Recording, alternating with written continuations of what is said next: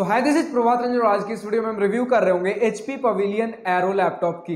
Video में आगे बढ़ने से पहले एक छोटा सा कंफ्यूजन दूर कर दूँ कि एचपी पवेलियन एरो अकेला एचपी पवेलियन नहीं है। एचपी पवेलियन के अंदर छह लैपटॉप्स आते हैं जिसमें पहला HP Pavilion 13, 14, 15, X360, HP Pavilion Aero और एचपी पवेलियन गेमिंग तो ये छह लैपटॉप्स आते हैं एचपी पवेलियन के अंदर जिसमें हम आज के वीडियो में रिव्यू कर रहे होंगे एचपी पवेलियन एरो की। तो इस वीडियो में हम कुछ चीज़ें डिस्कस कर रहे होंगे। सबसे पहले तो इसके स्पेसिफिकेशन इस लैपटॉप में क्या क्या चीज़ें मिल रही हैं।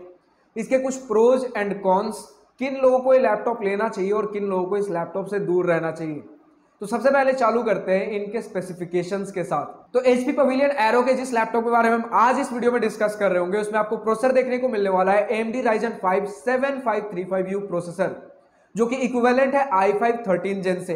थोड़ी टेक्निकलिटीज में चले तो सिक्स कोर्स और ट्वेल्व थ्रेड्स देखने को मिल रहे होंगे।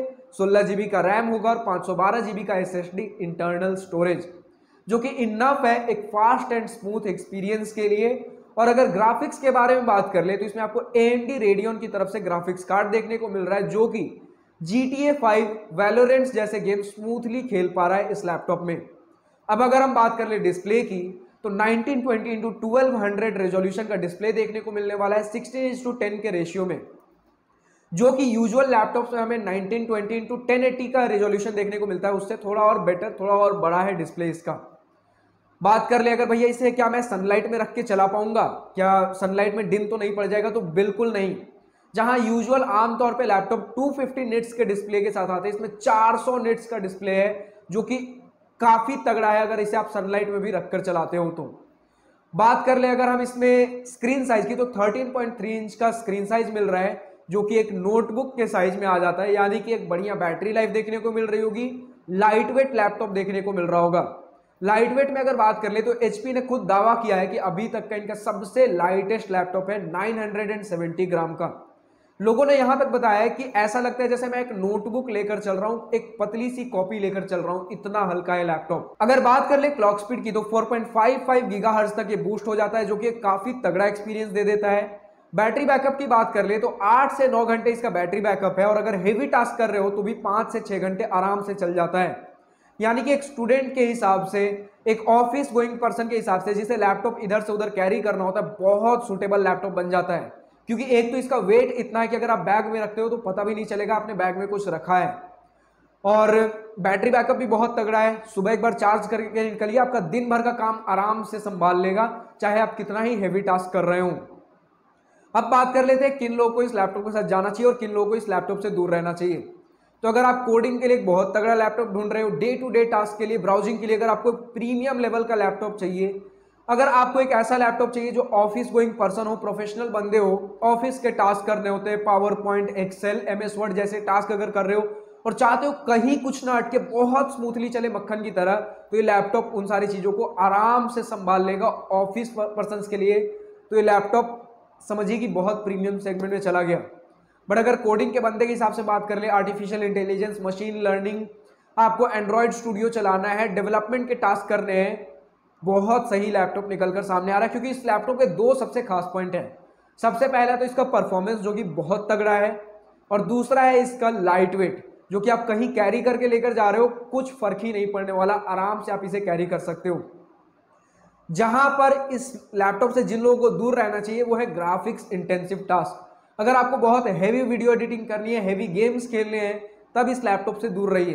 लेकिन अगर गेम्स लाइक आपको G T A five Valorant जैसे छोटे मोटे गेम्स खेलने तो आराम से इस लैपटॉप के साथ जा सकते हो। कहीं कोई दिक्कत नहीं आ रही होगी। आप चाहो तो इसके यूट्यूब पे गेमिंग टेस्ट वाले वीडियोस देख सकते हो। बात कर ले अगर वीडियो एडिटिंग में तो आप medium level of video editing like two K video editing तक इसमें आप आराम से कर पाओगे। लेकिन अगर फोर के वीडियो एडिटिंग करना चाहते हो, तब थोड़ी सी दिक्कत आ सकती है। उसके लिए आप एक बढ़िया ग्राफिक्स कार्ड वाला लैपटॉप लीजिए like R T X thirty fifty वाला टाइप लैपटॉप तो ठीक है medium level of video editing करना चाहते हो यूट्यूब के लिए वीडियोज़ बनाना चाहते हो तो ये लैपटॉप आराम से संभाल लेगा। मन बहलाने के लिए छोटे मोटे games like G T A five Valorant ये सारे गेम्स खेलना चाहते हो तो आराम से संभाल लेगा।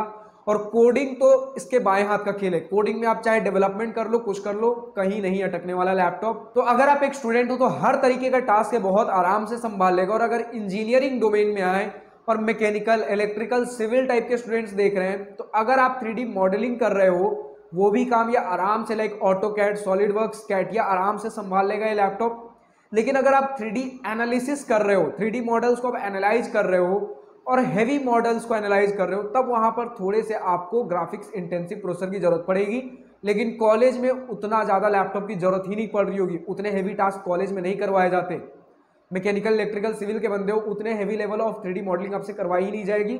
तो कॉलेज लेवल के लिए बहुत सही लैपटॉप निकल कर सामने आ रहा है। प्रोफेशनल टास्क के लिए बहुत सही लैपटॉप है। तो सिर्फ़ दो लोगों को इस लैपटॉप से दूर रहना चाहिए जो बहुत हैवी गेमिंग करना चाहते हैं, बहुत हैवी वीडियो एडिटिंग करना चाहते हैं। सिर्फ़ ये दो लोग इस लैपटॉप से दूर रहें, बाकी सभी के लिए लैपटॉप मक्खन की तरह चलने वाला है। अब बात कर लेते हैं इस लैपटॉप के कुछ प्रोज एंड कॉन्स की। तो प्रोज तो बहुत सारे इस लैपटॉप के हैं, जैसे आपका परफॉर्मेंस बहुत तगड़ा है डिस्प्ले आप इसे सनलाइट में भी रखकर आराम से चला सकते हो। इसका वेट तो अलग ही इसका प्रोज बनता जा रहा है, जो कि एचपी की तरफ़ से दावा किया जा रहा है। सबसे लाइट लैपटॉप है इनका। बात कर ले इसमें अगर कीबोर्ड की तो इसमें आपको बैकलिट कीबोर्ड देखने को मिलने वाला है कि यानी कि अंधेरे में भी आप इसे आराम से यूज़ कर पाओगे। व्हाइट कलर का आपको इसमें लाइट देखने को मिलने वाला है कीबोर्ड में, जो कि आँखों को ज़्यादा थोड़ा सूथिंग लगने वाला है, कुछ दिक्कत नहीं हो रही होगी। तो प्रोज तो बहुत है। अब बात कर ले अगर कॉन्स की तो छोटे मोटे जगह इसके कॉन्स बताए जा रहे हैं, जिसमें सबसे पहला आपका वाईफाई आ जाता है, जो कि कहना है लोगों का कि कभी कभी ये वाईफाई से कनेक्ट नहीं कर पाता डिटेक्ट नहीं कर पाता। बट उसका सॉल्यूशन लोगों ने ढूंढा वाईफाई एडेप्टर लगाइए, पाँच सौ छः सौ रुपये के आसपास का आ रहा होगा, और तब कोई दिक्कत नहीं आ रही होगी, आराम से स्मूथली वाईफाई वाला काम चल रहा होगा। फिर कभी कभार जैसे वीक में एक, दो बार इसकी स्क्रीन एक, दो सेकंड के लिए ब्लैक पड़ जाता है। बट इतने सारे अगर प्रोज मिल रहे हो तो इसमें कोई दिक्कत नहीं आ रही होगी। लोगों ने एक साल ग्यारह महीने यूज़ करने में बताया कि ये ब्लैक स्क्रीन वाला एक दो सेकंड एक वीक में अगर आ रहा है तो उतना कोई उन्हें इशू नहीं है। आराम से अभी तक कोई एक्सपीरियंस हमारा खराब नहीं है। बहुत बढ़िया एक्सपीरियंस रहा है इस लैपटॉप के साथ। तो कॉन्स कुछ ज़्यादा नहीं है इस लैपटॉप को लेकर। सबसे बड़ी बात यह है कि परफॉर्मेंस इतना तगड़ा देखने को मिल रहा है। इतने पतले थीन एंड स्लिक लैपटॉप में। इसे थोड़ा सा design and look and feel wise दिखाने की कोशिश की गई है मैकबुक प्रो की तरह। बट ऑफकोर्स मैकबुक प्रो जैसा दिखता ही है उतना ज़्यादा तो आपको स्मूथ एक्सपीरियंस नहीं मिल रहा होगा एक विंडोज़ के लैपटॉप से। लेकिन अगर विंडोज़ में ही कंपीट करें तो जिस प्राइस पॉइंट पे आपको मिल रहा है उसमें काफ़ी तगड़ा परफॉर्मेंस काफ़ी तगड़ा एक वैल्यू फॉर मनी आपको प्रोवाइड कर रहा है। बात कर ले प्राइस की तो आज के डेट में अमेजोन पे आपको 68 से 69,000 में आराम से लैपटॉप पड़ जाएगा जो कि काफ़ी ज़्यादा वैल्यू फॉर मनी है। इसका अमेजोन लिंक आपको नीचे डिस्क्रिप्शन में मिल जाएगा। अगर लैपटॉप पसंद आ रहा हो तो नीचे डिस्क्रिप्शन में दिए गए अमेजोन लिंक से आप इसे परचेस कर सकते हो। आज के इस वीडियो में इतना ही। अब आप बताइए और किस लैपटॉप का आपको रिव्यू चाहिए? कमेंट सेक्शन में लिखकर बताइए। आज के इस वीडियो में इतना ही। अगर वीडियो पसंद आई हो तो लाइक शेयर सब्सक्राइब दिल खोल कर करिएगा। और अगर कुछ दिल की बातें, कुछ मन की बातें लिखकर बतानी हो या पूछनी हो तो कमेंट सेक्शन आप ही के लिए तो है। So thank you for watching this video good bye nice day wish you all the best for future enjoy journey